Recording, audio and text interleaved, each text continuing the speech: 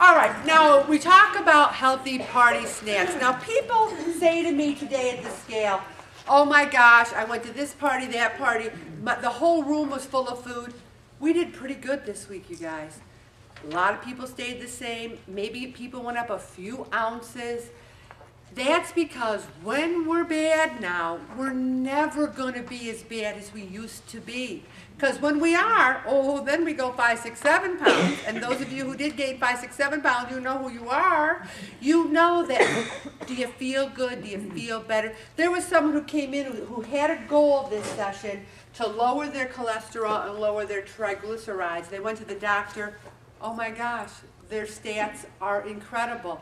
That was their goal. That's a good goal. They- didn't say, I want to lose 100 pounds in six months. They said, I just want to get a little healthier.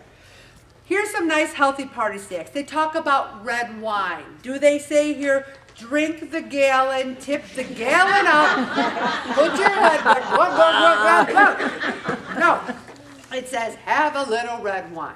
Nuts. Again, be careful with the nuts. If you have a problem eating too many, have a few. Now, raw veggies, you can eat them till the cows come home.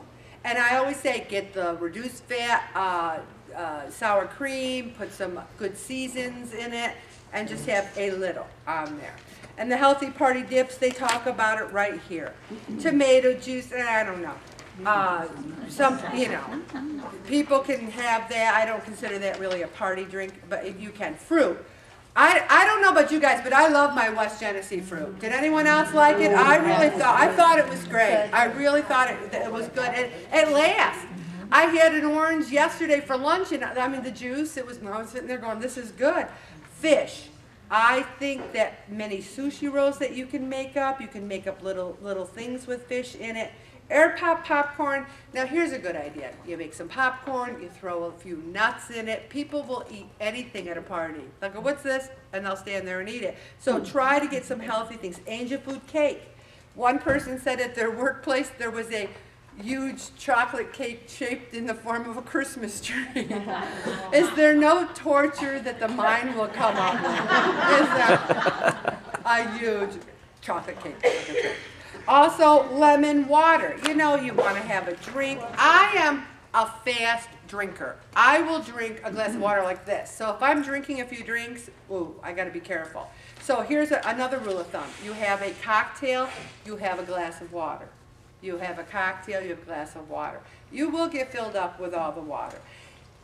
Enjoy the holiday. It ain't all about the food. If you wake up in the next morning and you say, who am I? Where am I? That's not a good indication of temperance.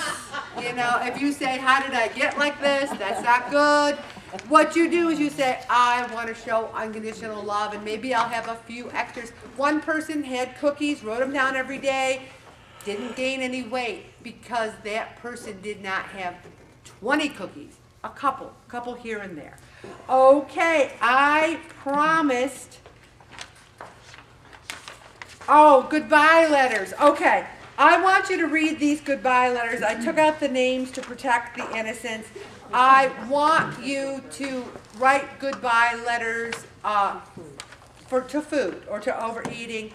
I'll assign it in session nine, but I do think it's very, very therapeutical to actually say goodbye to the overeating. I'm gonna stop right there, Bobby. And